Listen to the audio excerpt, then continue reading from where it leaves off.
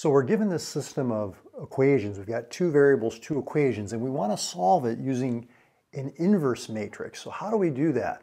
Well, the first thing we want to do is we want to look at this formula here for finding the inverse of a matrix, a two by two matrix. And what you would do is you would switch these two elements here, A and D, so they switch positions.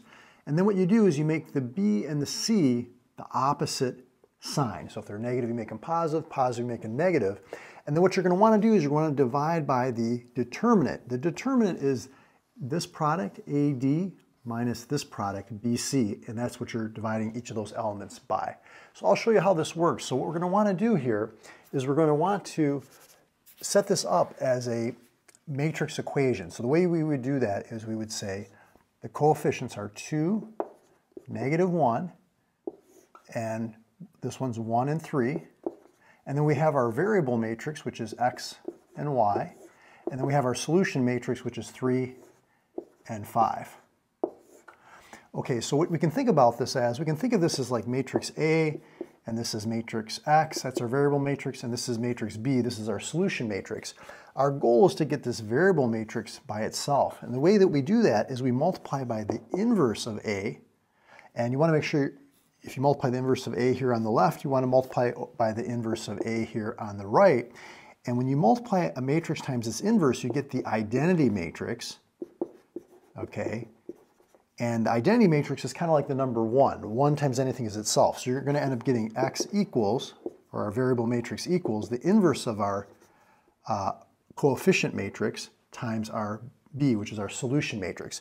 So this is what we're after right here, A inverse B.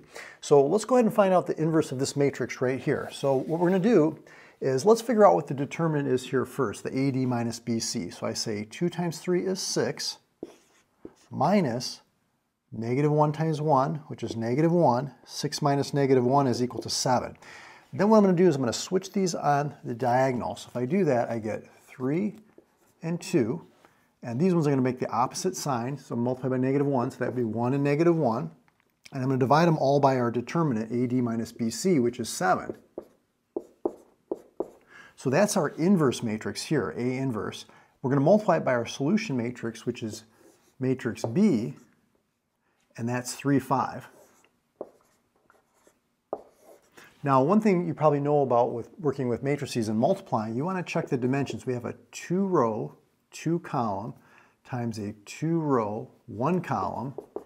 The inner dimensions match and we're going to end up with a two by one. So we want to draw that as two rows, one column.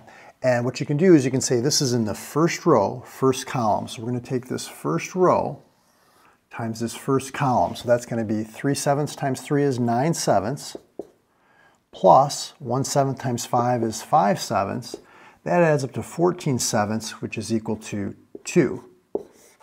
Okay, now for this position, this is in the second row, first column. So we take the second row, first column, so that's negative 3 sevenths plus 10 sevenths, which is equal to 7 sevenths, which is 1. So you can see we're ending up with our solution matrix, xy, which is 2, 1, or we can write it as a coordinate, 2 comma 1. Now you can check your work by putting it back into the original equation. 4 minus 1 is 3. Uh, 2 plus 3 times 1 is 3, so 2 plus 3 is 5. It makes both equations true, so we know that this is the solution to our system. If you want to see another example and test yourself, maybe practice one on your own, follow me over to another video I did like this right there, and we'll get some more practice. I'll see you over in that video.